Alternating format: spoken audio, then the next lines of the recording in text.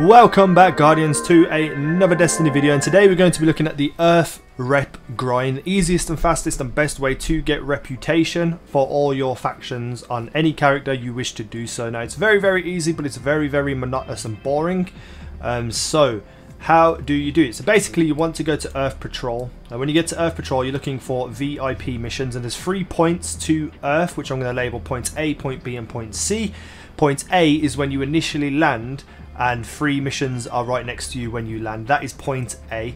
If you land and there isn't a target mission, and I'll show the target mission icon on screen, if there isn't one of them, I will go back to orbit and come back to Earth Patrol, and I will keep going backwards and forwards until I finally get a target mission to land at point A. When it does, you want to run over, pick it up, carry on through to where it takes you. Whatever target mission you pick up at point A will always take you to the exact same place, which is a pipe back towards where the start of the game was. In that place you can either get a servitor, a Reaver Captain or a big Archon Priest style enemy. All three of them are very very easy to kill. Servitor I say use a sniper, uh, Reaver Captain just use a grenade and then the, the last guy's a little bit tougher so use whatever gun you need to to kill him. So when you have finished and killed that person in that area you want to run back out and run into the previous area where the event of the fallen walker happens. This is point B. In point B you can pick up another target mission. With that target mission you go straight back to the area you just came from and kill another enemy and that is another target mission done. But if there isn't a target mission at area B, which you'll probably see on screen at some point, you want to carry on to point C because it's just around the corner and you, it's not a waste of time to go around there in case one of them drops.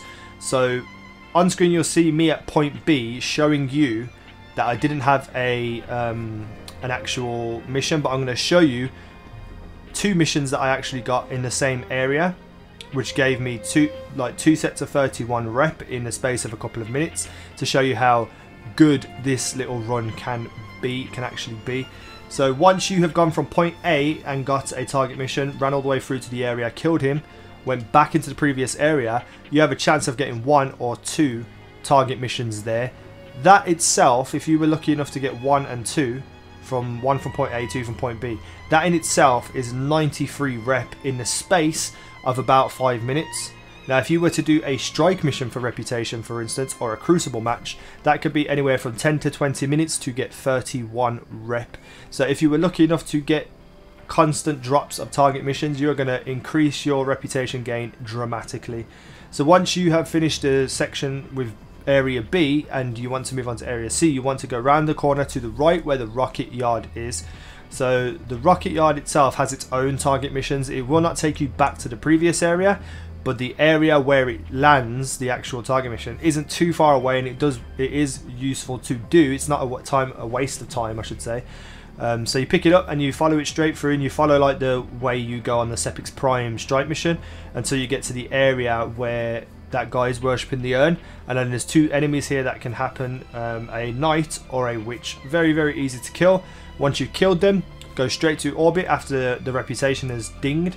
Go straight to orbit and go straight back to Earth and rinse and repeat the process over and over again. So once you've killed the guy in the rocket yard, you want to go back to Earth, go back to point A, and if there's a target mission there, pick that up. If there isn't, go back to orbit and go back to Earth Patrol.